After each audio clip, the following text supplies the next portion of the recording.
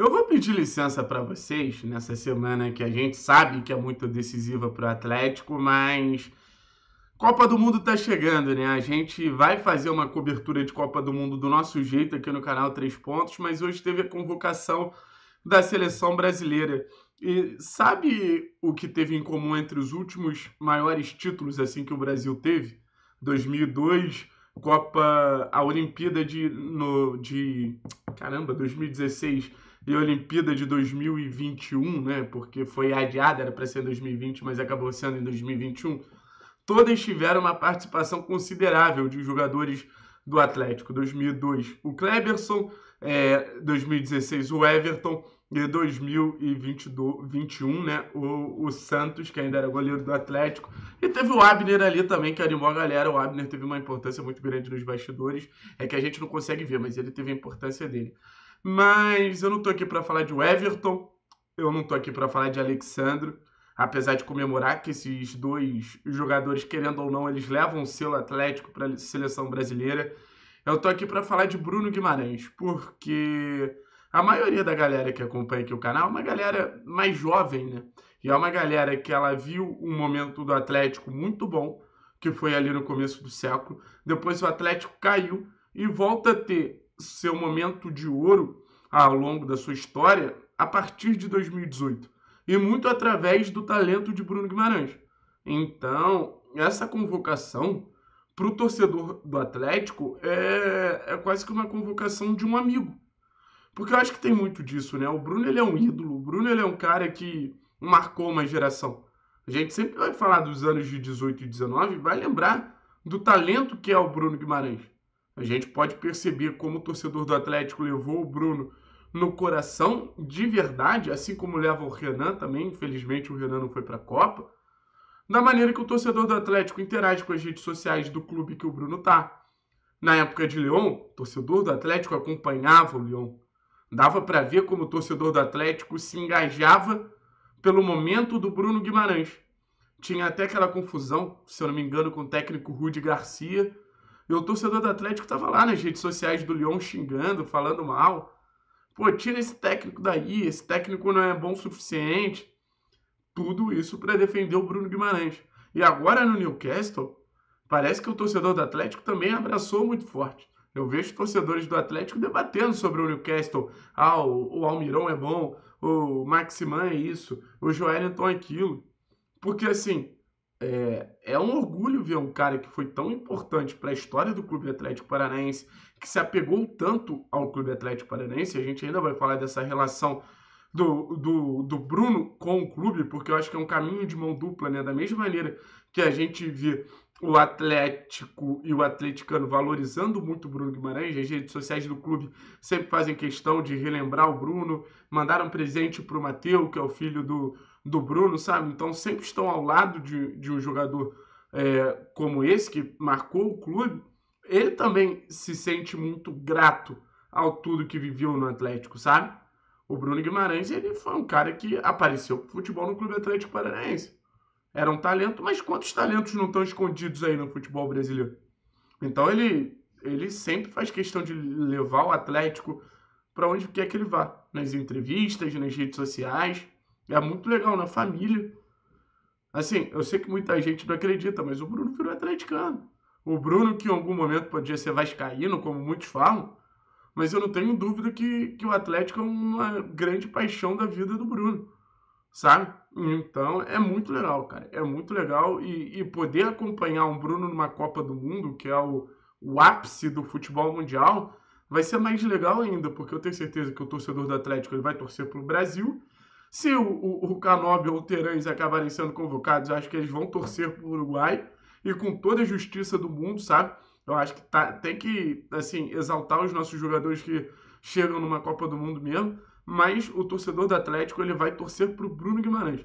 Para o Bruno Guimarães dar assistência, para o Bruno Guimarães fazer gol, para o Bruno Guimarães ser esse jogador que já encantou Curitiba, vem encantando os torcedores do Newcastle, e certamente vai encantar quando o público do futebol brasileiro acompanhar o Bruno mais de perto, sabe? Então, cara, assim, eu fico muito, muito, muito, muito feliz de ver essa convocação do Bruno.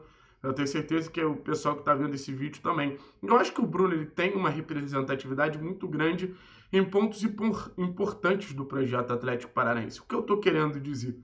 Primeiro de tudo, o Bruno representa o talento. O Bruno Guimarães, ele era um dos grandes responsáveis por fazer aquele time de 18 e 19 jogarem, sabe? Algo que eu acho que deve fazer muita falta ao torcedor do Atlético é ir para a Arena da Baixada e se sentir impressionado, sabe? Pô, esse cara é muito bom. Talvez o Vitor Roque possa ter um efeito parecido, Fernandinho, Terãs, mas, assim, o, o torcedor que acompanhava de verdade aquele time, ele cansava de se impressionar com o Bruno Guimarães, sabe? Porque era jogo atrás de jogo, o Bruno crescendo, o Bruno evoluindo, o Bruno fazendo aquele time jogar. Porque assim como ele vai ser na seleção brasileira, eu acredito que o Bruno chegue nessa Copa do Mundo como titular. Não acho que o Fred ameace, acho que o desnível é muito grande. O Bruno era o cara que fazia o time jogar. Passa, toca, passa, toca, passa, toca, distribui, gira a bola lá do outro lado, sabe? E, e essa capacidade de ser esse ritmista foi o que fez o Bruno ser tão importante no Atlético, chamar tanta atenção do futebol europeu e naturalmente para a seleção brasileira. Então o Bruno ele tem um, uma ligação muito forte também, porque ele entregava entretenimento ao torcedor do Atlético, dizendo assim, o torcedor do Atlético que gosta desse jogo ofensivo, que gosta desse jogo mais bem elaborado, ele teve no Bruno Guimarães esse principal jogador a apresentar isso para ele, sabe? Então, assim, é muito legal saber o que o Bruno representa. Ele também representa o sucesso da capacidade do Atlético de prospectar, sabe? Porque hoje a gente vê o Bruno lá no futebol europeu, um dos destaques de Premier League, mas ele já foi um jogador que, assim, estava em clubes inexpressivos do futebol brasileiro. E o Atlético foi lá, buscou o Bruno Guimarães. E essa capacidade de buscar jogadores em cenários de uma evidência menor é o que notabiliza o Atlético também.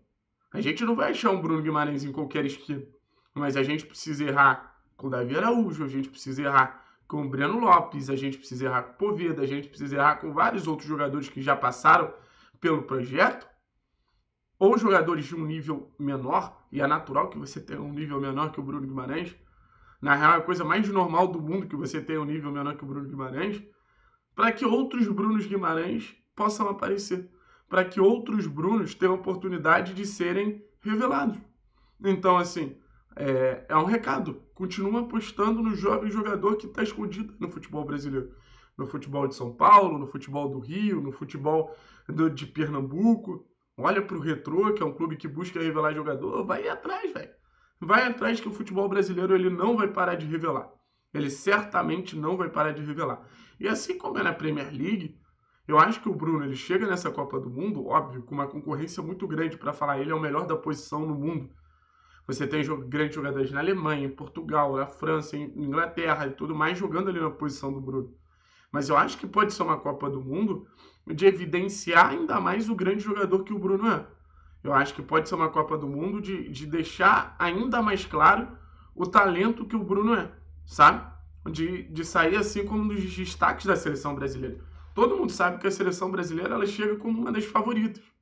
Então, assim, ao lado de jogadores do nível de Vinícius, de Neymar, de, de, de vários ali, do próprio Casimiro, que é quem promete fazer uma dupla ali com o Bruno Guimarães, a gente pode estar falando de um dos melhores jogadores da competição, porque talento para isso é indiscutível que o Bruno tem. Esforço para isso é indiscutível que o Bruno tem.